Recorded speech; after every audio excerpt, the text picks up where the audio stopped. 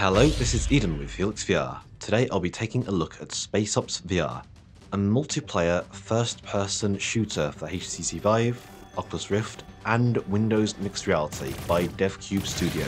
It works fine on the Pimax too, unofficially. This is a sci-fi themed shooter. You use futuristic weapons and fight against a number of alien creatures on another planet. The story reasoning for this is that you are a rookie who has just enrolled for basic training to become as part of a special ops team. Your goal is keeping deep space expeditions safe. This is your training. Now we currently only have a demo build as the game does not release for a few weeks yet, so I'll focus on the current features mostly. At the moment there are two modes included in the game, a sandbox mode and a skirmish mode. The only major difference I've seen is that Skirmish allows you to compete with another player, while Sandbox is single player.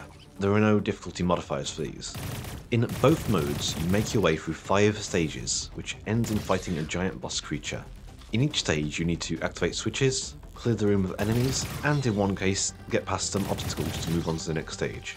The enemies you'll be attacked by are flying enemies, stationary enemies will shoot at you, enemies who charge at you, and teleporting enemies, so there's a decent variety.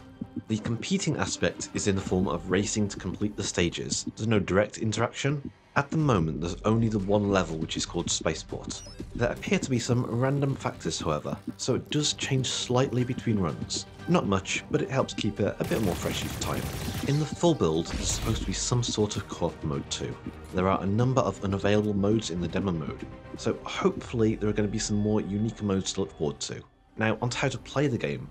To move, you can use either teleportation or a mixture of smooth locomotion with the occasional teleport for certain areas. You have to use teleport sometimes, but you can get by without having to use it more than a single time in most stages. You come equipped with light and heavy weapons, each with two modes. The way it handles modes is actually pretty good. Use the trigger in your offhand while steadying the gun to switch modes.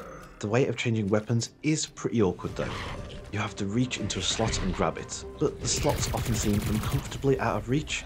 I mostly got used to it after a while though, but changing quickly can still sometimes be an issue. The type and mode of weapon you use can impact your fight quite a lot.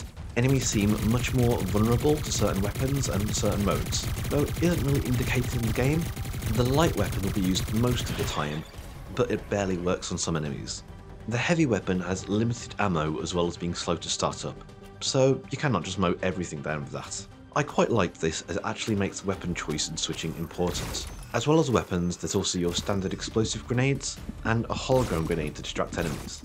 Now onto graphics. The game does look very nice, even on low settings. Graphical performance was fine there, but it tanked as soon as I turned it up to high. High was absolutely unplayable, and I'm using a GTX 1080. It was to the point that I wonder if it was a technical issue rather than not being powerful enough to run it.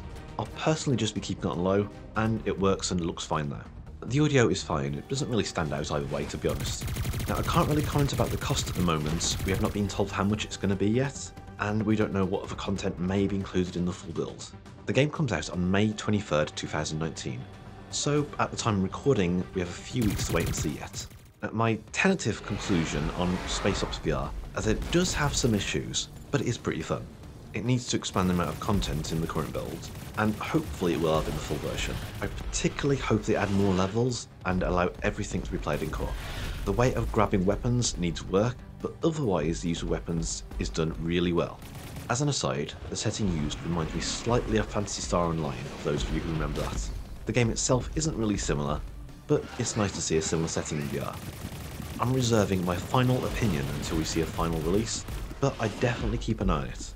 Once again, this was Eden from Helixx VR. If you'd like to see more content like this, please remember to like, subscribe, and if you really liked it, hit that alert button too.